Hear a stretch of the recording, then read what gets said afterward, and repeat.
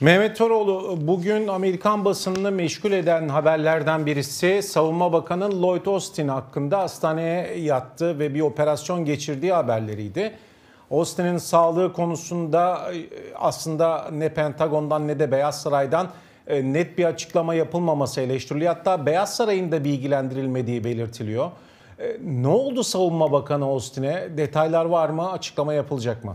Evet Amerika'da çok görmeye alışık olduğumuz bir manzara değil. Ee, Austin'in e, sağlık sorunları nedeniyle hastaneye kaldırılması, e, Başkan Joe Biden, Biden'ın ulusal güvenlik danışmanı Jake Sullivan e, ve bakanın kendi yardımcısının da aralarında olduğu pek çok kişiye çok geç söylendi.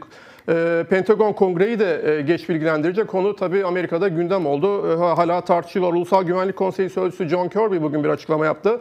E, Beyaz Saray'ın konuyla ilgili hangi kurallar ve prosedürlerin izlenmediği konusunda bir e, çalışma, gözden geçirme çalışması yürüteceğini açıkladı. Austin 1 Ocak'ta hastaneye kaldırılmıştı ama Pentagon e, bunun bilgisini kamuoyuyla Cuma günü yani e, 5 Ocak'ta paylaştı. Pentagon dün ilk kez bir takım yeni ayrıntılara yer verdiği bir açıklama paylaştı. Buna göre Austin'in e, 22 Aralık'ta tıbbi bir prosedürden geçtiğini, bir gün sonra eve e, gittiğini. Ancak e, 1 Ocak'ta e, şiddetli ağrılar çekmeye başlamasından sonra yoğun bakıma e, alındığının bilgisini verdi. Austin'in e, hastaneye kaldırıldığı bilgisinin gizli tutulması özellikle e, kongrede her iki partinin de mensuplarından e, sert eleştiri aldı. Beyaz Saray yetkilileri ise Austin'in e, Austin'e arka çıktı bir anlamda. Austin'in Biden'ın güvenine sahip olmaya devam ettiğini vurguladı. Bakanın e, cumartesi günü yaptığı sorumluluğu alıyorum açıklamasının e, Biden'dan takdir gördüğünü aktardı. Kirby de Austin'in e, görevine devam edeceği mesajını verdi. Pentagon sözcüsü Pete Ryder e, bir açıklama yayınladı. Austin'in e, ne gibi bir tıbbi prosedürden geçti ya da 1 Ocak'ta tam olarak ne oldu da Austin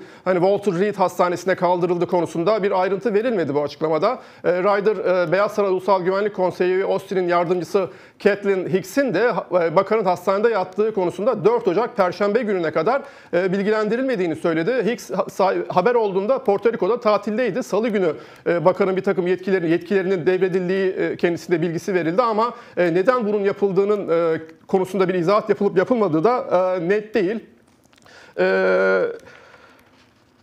Austin'in e, öz- e, Austin Özel Kalem Müdürü'nün e, hasta olduğunu ve o nedenle bilgilendirmeleri yapamadığını Perşembe günü e, Ulusal Güvenlik Danışmanı Jake Sullivan ve Hicks'i e, bilgilendirdiğini söyledi. Associated Press'in haberine göre Biden da o gün Sullivan'ın söylemesiyle konudan konudan haberi oldu. Austin hala hastanede 70 yaşındaki bakan ne kadar daha kalacağı konusunda da bilgi verilmedi. Austin de hastalığıyla ilgili bir detay vermedi. Pentagon'a yakında dönmeyi beklediğini söylemekle yetindi. Senato Silahlı Hizmetler Komisyonu'nun en kıdemli Cumhuriyetçi üyesi Roger Wicker, e, Roger Wicker sert bir açıklama yayınladı. Kabul edilemez olarak nitelendirdi bu olayı ve olayın e, Biden yönetimine güveni aşındırdığını belirtti. E, Bakanlıktan kongre üyelerine derhal bir izahat yapılmasını talep etti. Sadece Cumhuriyetçiler değil, Demokratlar da tepkili. Temsilciler Meclisi Silahlı Hizmetler Komisyonu'nun en kıdemli Demokrat üyesi Adam Smith ile Komisyonun Başkanı Cumhuriyetçi Mike Rogers da ortak bir açıklama yayınladı. Gelişmelerden duydukları, duydukları kaygıyı dile getirdi. Pentagon Basın Derneği de aynı şekilde e, Hostin'in hastaneye yatırıldığının e, karanlıkta bırakılması, gizli tutulmasını sert sözlerle eleştiren bir açıklama yayınladı. E, dediğimiz gibi genelde çok olan bir şey değil Amerika'da bu. Başkanlar, e, bakanlar sağlık durumları konusunda hele bir de hastaneye kaldırılmışlarsa gerekli merciler ve kamuoyu hemen bilgilendiriyor, bilgilendiriliyor. Ama Austin'de bu neden yapılmadı? Herkes bu sorunun yanıtını merak ediyor Serdar.